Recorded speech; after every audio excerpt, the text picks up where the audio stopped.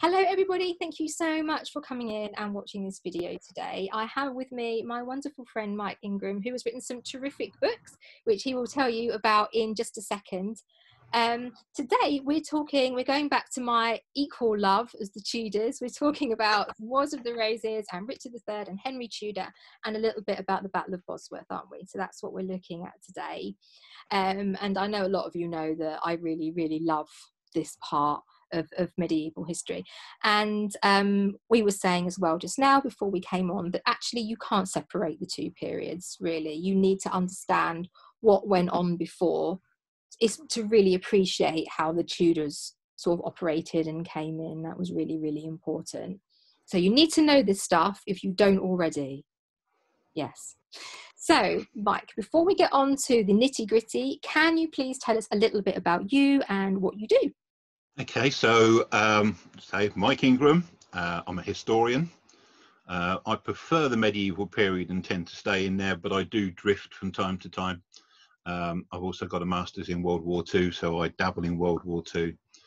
Um, but one of the things that I, I, found when I first started studying history is, is, as you've already said, you can't separate things out. So you have to study a lot more around it. Um, and I think more people should know that, which is why I also teach medieval history, uh, normally to adults, um, but I do take groups. I also do tours, um, whole variety of tours of different periods. Um, but again, medieval is my favourite, and I, and I do medieval more than anything else. But I also do a Civil War tour. Mm. Um, I'm a trustee of the the Naseby project, um, so we've the organisation has been involved in putting visitor platforms all around the battlefield and things like that. So I'm very much involved in the Civil War as well. Um, and then other things as well. Um, I'm very much involved in Northamptonshire's history. Um, and there is so much history in Northamptonshire that it's a never ending job. Yeah. Um, Eleanor crosses, uh, all sorts of things like that. So we, I was very much involved in saving the Eleanor Cross from falling down. You were, yes. Um, so I do that, and then that also takes you into other periods, Tudors, because it's got a county's got an interest in Tudor history and so on and so forth. So I teach all that. I do tours on that, including the Gunpowder Plot, because again, it's all Northamptonshire. And I write books. You do very, very good books. Thank you. Show, show us your books. Okay, this is the last one. This is the, the Bosworth one. And that has been exceptionally well received for good reason, hasn't it? Really? Yes. Has. Yeah, yeah. I'm very pleased with all that one. And then this is the new one I've written with a friend of mine, Graham Evans. Mm-hmm. Uh, this is on the battles and battlefields of Northamptonshire. So it includes everything from Saxons, Vikings, um, right through uh, the medieval period because there's two Wars of the Roses battlefields in Northamptonshire, uh, and then going on to all the stuff in the Tudor period, particularly with things like the depopulation and enclosures of the county, uh, and the Midland Revolt, and then going on to the Civil War and Naseby and so on and so forth. And in fact, you um, and you're doing some more articles for the Tudor Society as well, aren't you? But you've done some articles for the Tudor Society about some of those things as well. Yes, yeah. So they'll be coming up soon. Yeah. So if anybody is a member of the Tudor Society, then you'll be able to read those fairly shortly. Um, yes. Um, right. Okay. So what we're going to start is a little bit talking about before we get to the Battle of Bosworth, really, because one of the things that you've really talked about in your book is historically really going back to look at Henry and Richard, who they were before it got to this point. Yes. Obviously, they um, had very different lives until they clashed, and they didn't actually physically clash until the big day, if you like. No. No. You know, their, their interactions were pretty much non-existent really. But so i use the word relationship very loosely. When i say to you what was their relationship if you like up until the point of inevitability? Um, i think they were concerned but again i think you've got to look at this not just in the context of, of richard and henry but you have to go back beforehand to edward iv's reign. Um, Jasper Tudor was a clear threat to Edward, mm. uh, and Edward tries to have him extra- extradited. uh, back in 1472, I think it was. Um, so there, there was there's a clear threat there from from an early period, and Henry, of course, is only a young boy, so he's he's not the the threat in question. But as they get older, um, Henry seems to become the more dominant one, and the more one that that actually is going to be an issue. Mm. Or, or they or Richard starts to perceive him as a threat. Whether he perceives him as a big threat or as a minor one, it's very difficult to say. There's not enough evidence to to support one way or the other. But of course, then Richard, once he's on the throne, he does at least make one attempt to try and extradite Henry. So he's he's clearly a threat of some description. But it also sorry, sorry. Uh, you, you, you again, you have to look at it as in the bigger picture of what's going on mm. in the whole of Europe at the time. And, and there had been so much sort of because of the wars of the roses there was always turmoil within you know like people vying for the crown you know it, people tend to look at it as the wars of the roses but it had been going on forever really hadn't it? It wasn't just yes. Yeah and i suppose any threat however big or small still needed to be taken seriously because it of course it did. foolish to ignore something however insignificant it might seem you know you take your eye off of, of the ball and and that's fatal isn't it yeah exactly yeah Right. Okay. So we just talked a little bit about because that was going to be my next question was how serious did Richard see Henry's threat, and I suppose as it progressed, it became more notable. Yes. Something else you said just a minute ago made me think: how much of it was Richard and how much of it initially maybe was it other people whispering it in his ear, some with good intentions and possibly some with bad intentions? I think it's a mixture of both. Um, and, and, because we, we, we, mustn't forget that Henry was in Brittany for a long while. Mm, he was, yeah. Um, over 14 years before it got to before we got to Bosworth. Um, and it's not until really later on that he does seem to what that it's coming in. And we, it's not just the whispering in the ears it's also to do with um, it's to do with the will of the people. Because we have accounts and there, there, there are bits and pieces that are said um, because it's all connected with with a war with france mm, uh, as much as anything else. Um, and the people the people want want England to invade France again. So he, he's also coming down to political pressure as much as anything else. It was very fashionable, wasn't it, invading France in those days? Yeah, yeah. Almost um, like a rite of passage. You had to invade France at some stage in the proceedings. If we go back to 1475 under Edward, Edward uh, invaded France uh, all the nobility joined in. But really, the, the Hundred Years' War, although it's generally thought of as it stopped beforehand, there was never a peace settlement actually signed between the two halves after the Battle of Castillon. Uh, and Edward was, particularly with the uh, the political games that Louis, the King of France, was playing, um, and and because there was a, an unofficial war still going on, there was lots of um, battles at sea that were taking place between pirates of English pirates. Whether they were state sanctioned is another thing. Um, so so there's this going on, and there are raids on on fleets and that constantly going on all during this period. And, and even when Richard took the throne, they were still going on. Mm. Um, but if you go back to 1475, Edward invades France. Um, he was supposed to meet up with the Burgundians, and it didn't happen for whatever reason. But um, the French bought um, brought Edward off, yes, and a lot of the senior nobles, and a lot of people in England um, thought that was really shameful, including Richard. Mm. So, so that they wanted wanted to carry this war on. So again, it's all part of this this bigger picture. Yeah. Which is which is from what we're saying that you have to look at the bigger thing. And and that's it. It's um I spoke to Heather Darsie last week about Anna of Cleves and um and very much again you, you, we were saying just now as you say about the bigger picture but it isn't just the bigger picture within england it's very much all this intercontinental wars and politics and if people haven't seen that one go back and then it will make sense but um so one of the things you've spoken about at great length in your book and maybe hasn't been covered exceptionally well in the past is the french connection yes so please tell us a little bit about the French connection.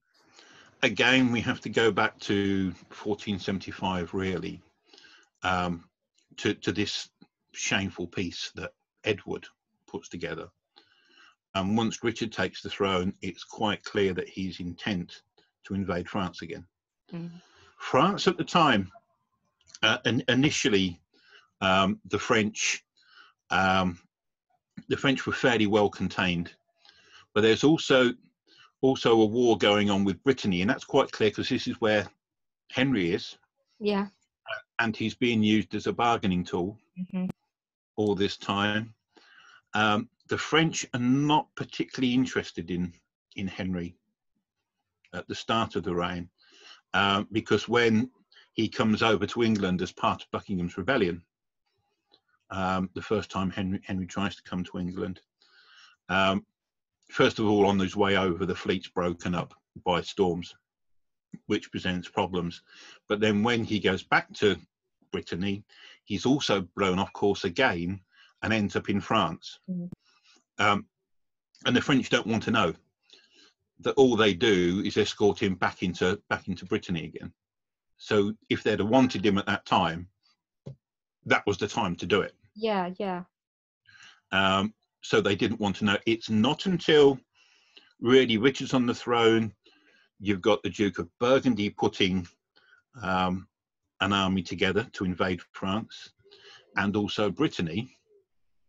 And there's some very, very, very slight hints that the Spanish might have been involved, but I haven't been able to find that data yet. Yet. Um, yet. Which, which is another interesting story that comes on with Tudor stuff later on. Um, but what, what what's in happening? So you've actually got a coalition of allied forces building against France, mm. uh, and the French go through them and take them out one at a time. Wow. So so they go to Brittany first and take up Brittany. Then there's also the fight um, with Burgundy, uh, and they temporarily stop the Burgundians. Uh, and then of course it's the English turn. So the way that they solve the the English problem is that they start supporting Henry yes. and give Henry give Henry a, an army to come over to England and invade.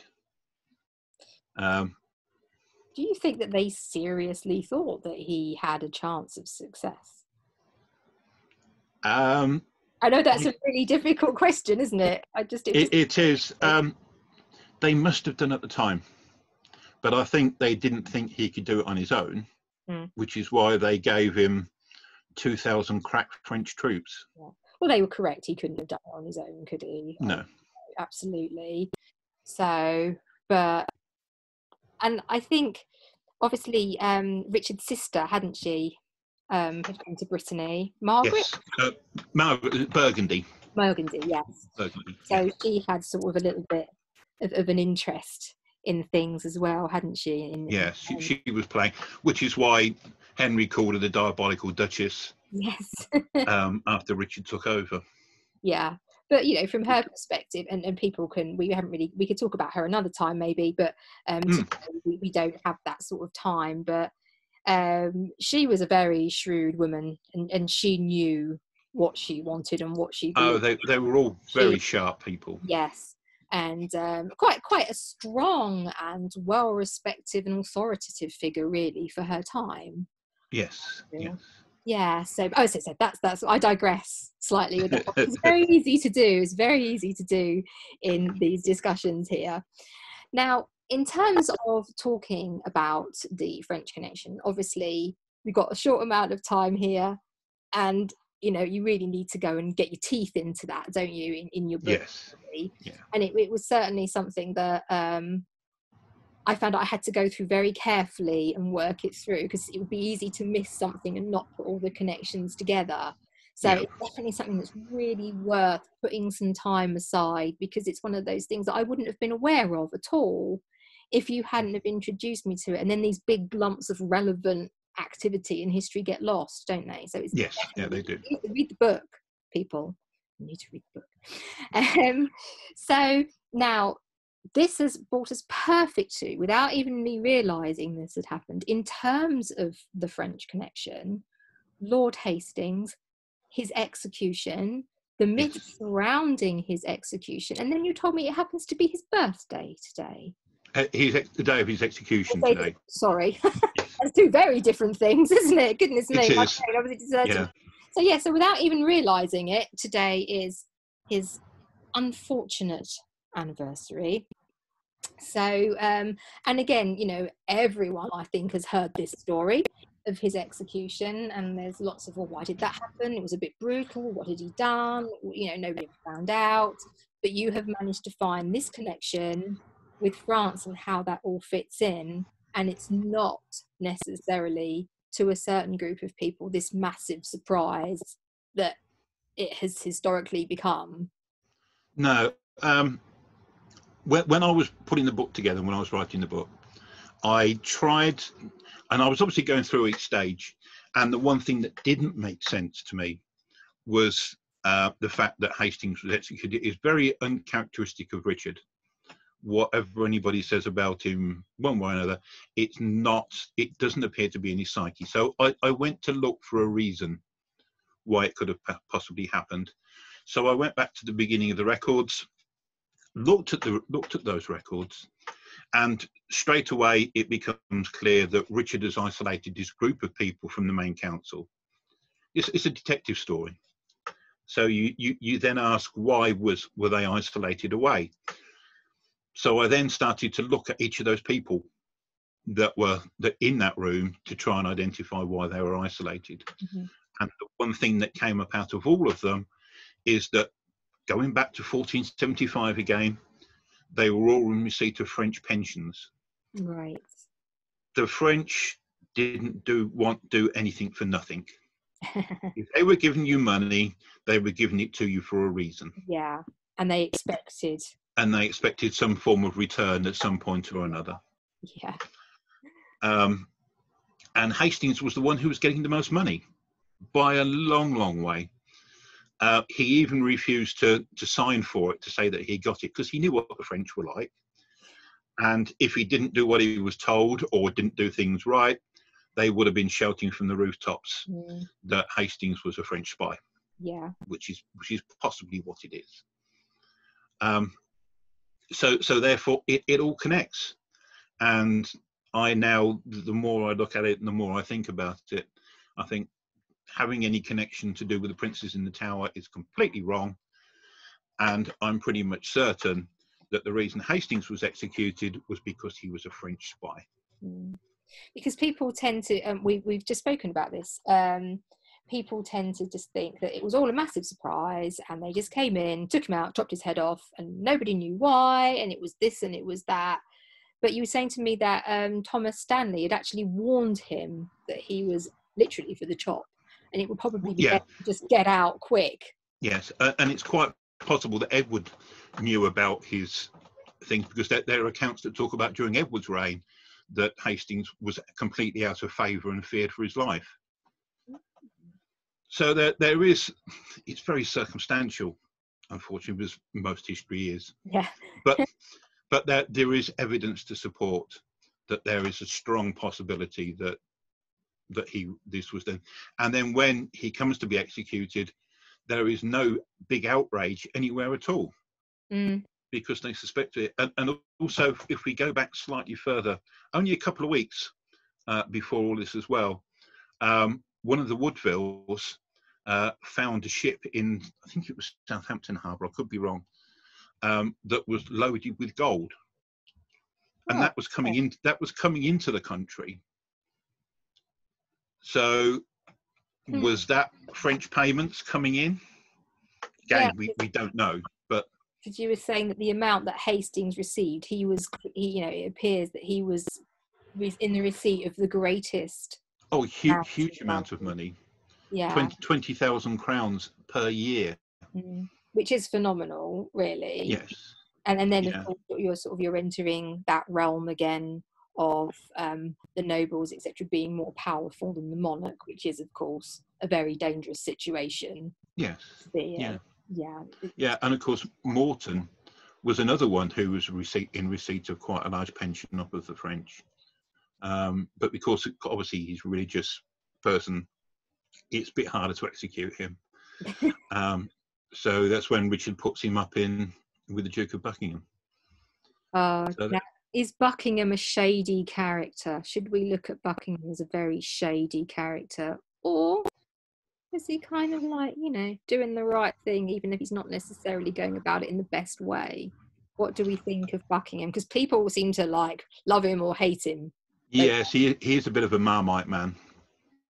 Um, it's hard to tell in reality. Sorry, I keep putting all these impossible questions. Yeah, I mean, again, there is evidence. We we've got clear evidence that Buckingham was writing to Henry, Mm, mm. so so we know that. Is it because Morton's got to him? Uh, and Buckingham does have a slightly more distant claim, but he does have a claim to the throne. yeah, yeah, Um, so so there's a possibility there. So lots of intrigue that we will never really know, and lots of people can suppose what might have happened and what might have been. But drill down it all, we honestly don't know. because people have a tendency to understandably label monarchs as very sort of suspicious people. But who could you trust? It, it really is. You must have been so conscious of the fact that um, when you were king particularly that who could you really trust? Did you really have a friend? Anybody could potentially turn on you even like your brothers Oh yeah, know, it, it must have been a fairly i always sort of think everybody not everybody but lots of people wanted to be king but it wasn't much fun when you actually got there no, yeah, uh, and trying to kill you yeah, and there were spy networks from from all sides. yeah You're going to have French spies. You're going to have Henry Tudor spies in Richard's court. Mm, um, which he clearly does have because of the way things things move forward. Richard's going to have spies in the French court. He's going to have spies in with Henry. yeah That's why he he Richard does find out quite a lot, Mm. although not finely detailed. So Richard clearly got a spy with within Henry's network. yeah Isn't Um, that it you just how would you ever know no, It- and you you've just got to look over your shoulder the whole time. It doesn't sound like much fun at all to me quite No, it's and, and we've got to we can't forget this doesn't stop with Richard. Henry has exactly the same problems. He's always looking over his shoulder yeah for sure definitely because he, he doesn't know. So it's it's a sign of the times, yes absolutely. just what happens. and I think this is one of those things. If when you have this, we, we touched on this just now before we came in. Apparently, there's a tiny, weeny bit of a divide between Richard and Henry, and and sometimes people get a little bit animated about it.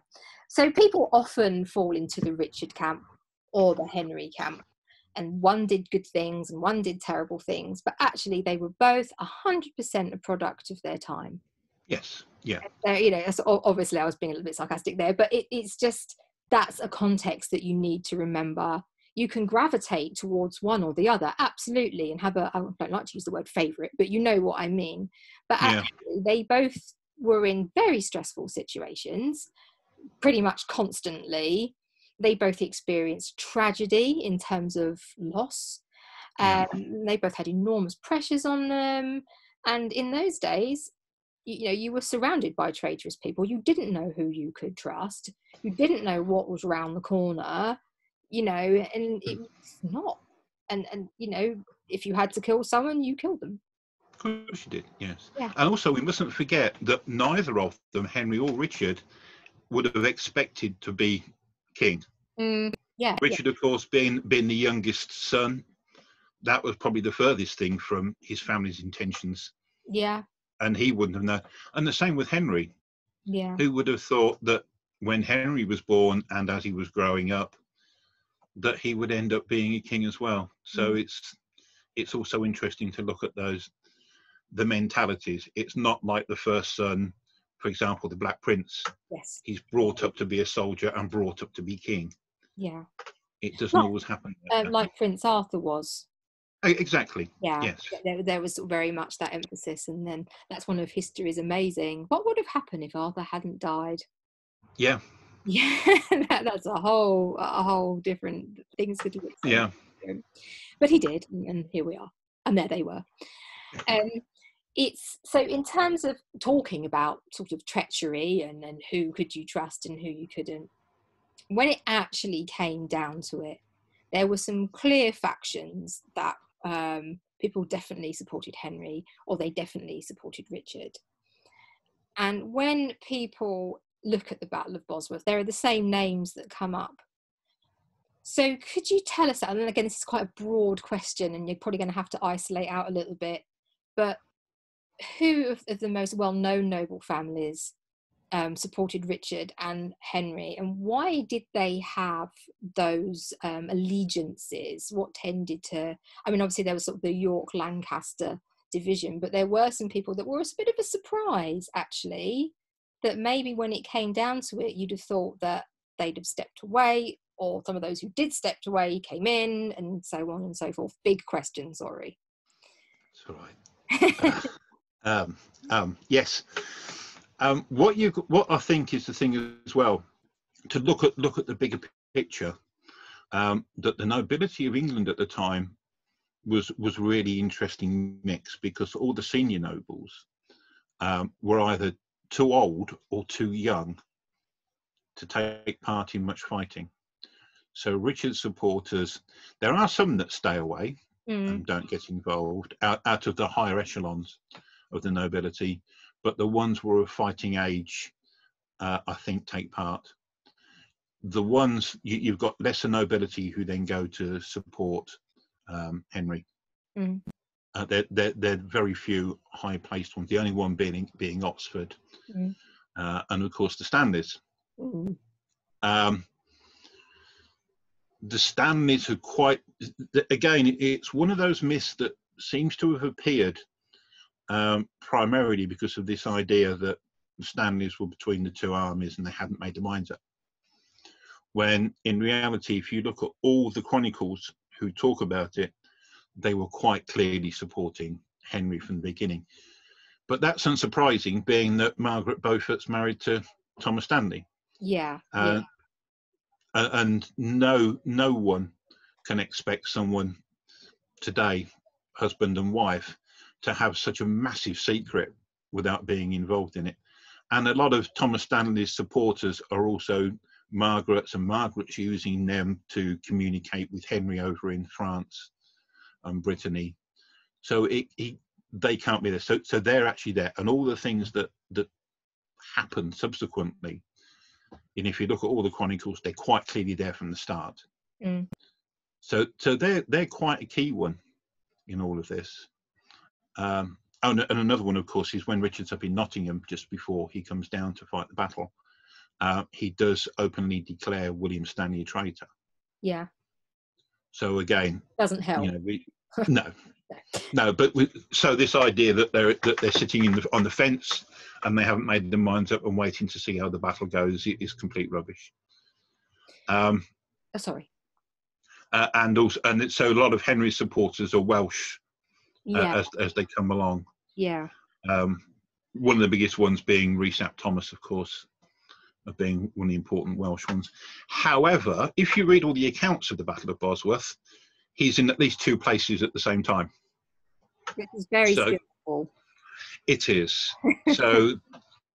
so I, I, I- think he's played up a bit Right. of Okay. in the battle. He's been given a bit of celebrity status. Yes, exactly. Yeah. So he's another he's another quite key player, but he is not a huge player. Okay. Um, Oxford again, of course. Mm. Um, again, he's important, but you sort of get the impression from reading a lot of the Tudor sources that he's one of the um, the, the key people. He uh, he. If if you look at look at the account, particularly Vergil's account, Vergil's first account, his first manuscript, um, actually puts puts him in charge of just the front line, the, the battle line, not the whole army. Okay. Um, who I actually think is the one that's that's in charge of the army um, is Philippe de Chandon, who is the commander of the French. Oh wow! Which, which is why straight after the battle, Henry makes him uh, the Earl of Bath. Yeah, interesting. Uh, uh, and and and commanding army, and of course the French as well. Those two thousand French professional soldiers make such a huge difference, uh, and they're the battle winners. They, they, well, they are the difference, really, aren't they? Oh yes, yeah, yeah sure. and, and, they're fighting a different style to the Eng- to the to Richard's English. Um, it's a surprise attack on Richard's flank, so Richard really couldn't do anything about it. Um, do you think one really quick question, and then I'll come back to this question about Richard. As a contemporary source, how reliable do you believe Vergil to be? Seventy percent. Oh, okay. But, but what you've got to do is to look at each version. Okay. Because he, he wrote four versions. Oh, Why do these people never do things in a straightforward fashion? For exactly. 500 years later, it's very inconsiderate. Yeah, so so you have to look at the first version, right, yeah. and which bits are added in and which bits are scrubbed out. Yeah. Uh, and then, so over time, you tend to get a more sanitized version. Yes, the more Henry-friendly version. Yes, yes. Oh, yes. Uh, right, so I just just just popped into my head then. Um, this is something that I've wondered in the past. Um, so going back to Richard, how there's all these accounts of you know how he must have felt the night before the battle i mean not great clearly no one's going to feel great the night before are they but how concerned do you think he was because technically speaking he was in the stronger position in terms of the troops and their experience around him and also himself. He was well known for being um, extremely adept on the battlefield compared to henry of course who wasn't. So you know it, it, i know again i'm asking you how do you think somebody felt? And that's impossible to know but you know you get the accounts that suggest he was really unsettled in fact. I, I think that's all written later okay um, i think at the time I, I, if i was a military commander i would have been going into that battle confident mm. i can't say how how richard would have thought um, but I know I would have gone in there. I've got superior numbers. I've got a large amount of artillery. Um, okay, what, what we don't have, bearing in mind that Richard doesn't know about the French or, or knows very little about the French at yeah. this point.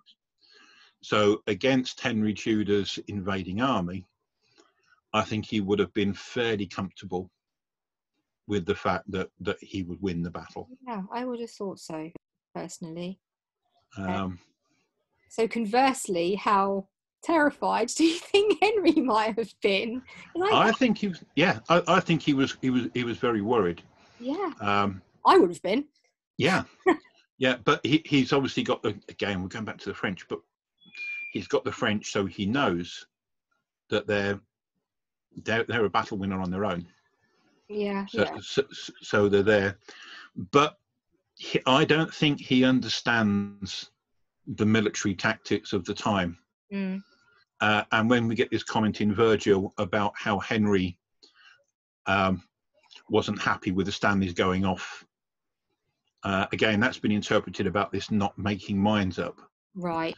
Yeah. But what, but what I, I think it is, is that they don't, Henry doesn't understand what the tactics are Yes, that makes sense. Yeah, for sure. And, and how it's going to work. Yeah. Because we, we, we have to remember that the Stanleys are on the battlefield or in the area of the battlefield uh, three days before the before the battle. So even before Henry arrives. Mm. Yeah. So they've chosen the battlefield. Yeah. They've chosen it for a particular reason, mm. which which is the marsh mm-hmm. and controlling the high ground. And the edge of the battlefield is in woods, so you can hide yeah. extra troops when you need to. So I think a lot of it is down to that, and I and I just think that that Henry doesn't understand. Um, we know that straight afterwards, uh, Henry starts pushing out um, Vegetius' um, manual of, of warfare, which is an old Roman one, and he starts sending it out straight afterwards and telling everybody you have to read this this is how this is how to do it Right. So he so those gaps. Yeah. His knowledge, definitely. Yeah. Yeah.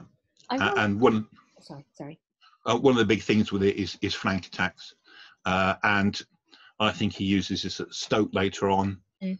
um, and again with the um, the cornish revolt um, he puts that down in the same way as well Yeah. So he'd obviously spent a considerable amount of time thinking this happened. Maybe thinking I got a bit lucky there.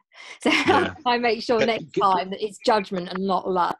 yeah let's get the book out and teach people how to do it I wonder if um, it's a path he would have ever imagined or have chosen for himself. At what point other people going, you know, you should have a go at this. Obviously, not Yeah. those exact words. And he actually was going, oh, yeah, I don't really think so. And obviously, at some point, he went, yeah, okay. And I wonder how far back that point was and how how much was it was other people sort of pushing him until he got into that mindset. Yeah, I, I, I- I think that very probably that it wasn't very long because again he he was in the shadow of, of Jasper the whole time, Mm. Particularly to start with. It isn't till later on where obviously people are talking to him, people like Morton and all these people saying, "Yeah, you should go for King," Yeah. uh, and his attitudes start to change slightly. You see, I can't help it. I like Jasper. Ja- Jasper Jasper's my random Tudor crush. so um, yeah, I read I read some good stuff, but yeah, I know that's a bit random. Doesn't make much sense really. Um, but everyone has their sort of random like person. They'd be like, oh, quite like them. If I was around then, they'd have been my like person. He- He's very clearly a clever man Yes. uh, and very and very knowledgeable and experienced man. Um, Um, but that's another whole story. This Yes, and we, we also mustn't forget that his mother is actually French, yes, which then which then gives us a, a another connection, and another French connection yeah. to the whole story. Which is endless you know it, it is it's so hard because obviously we study especially when you first introduce people to history at school or whatever it's very much a little pocket isn't it? Yeah, and um, for people to then expand on that is, is quite difficult for i think one of the things with the tudors that certainly i experience, and i know everybody as you know lots of people have said the same thing is that people tend to get drawn to the tudors with the story of henry viii or maybe Yes. elizabeth and then with henry it tends to start with anne boleyn so you've got that very clear link there between henry anne and elizabeth haven't you yeah, and then it kind of filters out round from that you know mary a bit edward a bit jane grey might as well not exist um poor Yeah. thing. But henry i feel gets a bit lost because you've got henry the eighth. Yeah, and then of course you've got richard and both henry eighth and richard third are big big big characters in in different ways. Yeah, and um, you know, and their their stories have been massively focused on. So poor old Henry Tudor has kind of got a bit swept away, yes, and um, but that's my my end of the Tudors and the histories is more that period. That's the bit I like the most. yeah. For for whether whether you you loathe or love Henry, uh, one thing that can't be argued, and, and it's often overlooked, um, is how he broke the power of the barons, Mm, absolutely. which is which is something that nobody could do before then. yeah that and that's a big big big thing that really affected how things were in england you know the, sort of the stopping of the crown being passed across over the battlefield and all these Oh, exactly. like that and it did make as you say whether you love him or you loathe him that made a monumental difference to the place that england became Yes. I sometimes feel like I'm sorry people have heard me say this before, but people say, oh, the medieval period and then the Tudor period. So obviously it begins with Henry VII. And yes, technically it does, But I feel really, to me, the medieval period extends through his reign. And it's not until you get to Henry VIII and his like Renaissance prince and his eight million wives and his, you know, flouncing about and being all sporty and flamboyant and the field of cloth of gold, etc., etc., etc. To me, that feels like more of a marker for change. Yes. Yeah, and um, I mean, Uh, and it, it's like the, the the perennial question of when did the Renaissance start? yeah, Because things had started happening in Richard's time, and and they went back and then came back again. yeah, and and that all again gets lost, doesn't it? In in all the sort of stuff that happens in the interim, it's all Yes. yeah. Yeah. We could just talk R- about Richard was very much for books and importing books with lots of new ideas, yeah. uh, and Henry stops them. So you know, it's it's you, you take it as it comes along. See, I, I'm uh, that rare breed where I like both of them. Yes. Yes. I, I, I'm either I'm sort of a sort of a Tudor Ricardian, if you like. That's yeah. that's such a thing. Yes. or Tudor, whichever way you want to put it, really. You're striding both camps. Yes, I'm I'm sort of sitting on the fence for fear of upsetting anybody. So, and I, I suppose really my my first love is the Tudors. I, I was explaining to Mike before we started about how I sort of moved into this period, and that's another another story. Um, but I think with the Tudors, it's the flamboyance, and it's the you simply couldn't make it up. No. You know, you you, you just couldn't. It's it's just that the six wives, and you know, and all that sort of thing.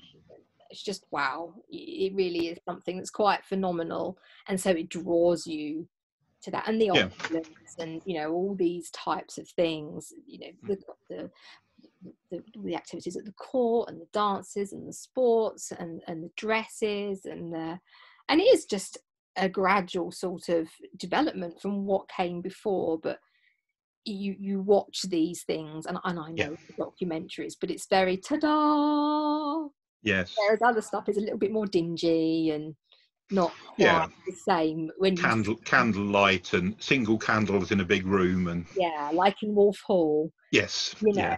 and, and you definitely see and i've heard a few people say that they found it know, but harder almost to watch wolf hall because it wasn't so brilliantly lit and Hmm. All singing and all dancing and, and very it was much more you know reality is not quite the right word but that that kind of feel to do it was a lot more sort of gritty and, and real and Yeah.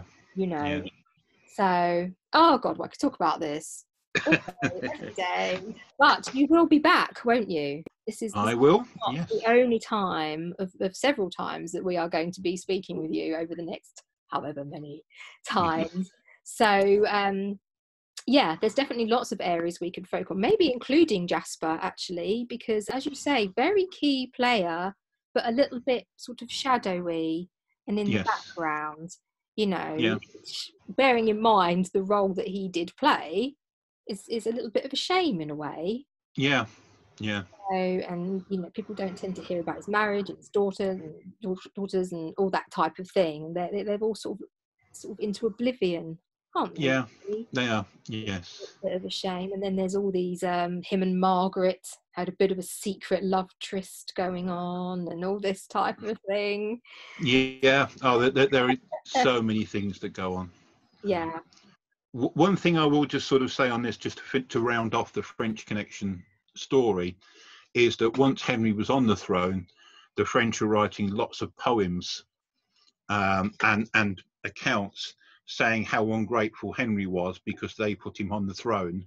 oh okay oh dear Uh, so it, it just finishes off the story about how important the whole of the European thing is and why you have to read the book because we've got no chance of telling you the story uh, in a short conversation. absolutely today. this is the thing isn't it i'm sort of throwing some questions at you and they're so broad and it's like trying to split it down into these tiny little bite-sized things is really hard but it gives us lots of food for thought Yes. for subsequent get-togethers doesn't it Oh yes. Yeah, we can do lots more. we certainly can because there is there's just so much So um, I will put in some links and bits and pieces to your social media and your books and so on and so forth. Um, I did put up a link to the book the other day, the, the, the book on Richard III and the Battle of Bosworth. So that is really quite essential reading at this point and before it was written as well, actually. we should have done this several years ago. However, um, right. So thank you so so much for coming along today. It's been amazing. I, I my pleasure. I love this, and I could talk to you about it all day for weeks on end. However, I will let you get back to all the things you need to do. Thank you very much. See you soon. Take care. Bye bye. And you. Bye.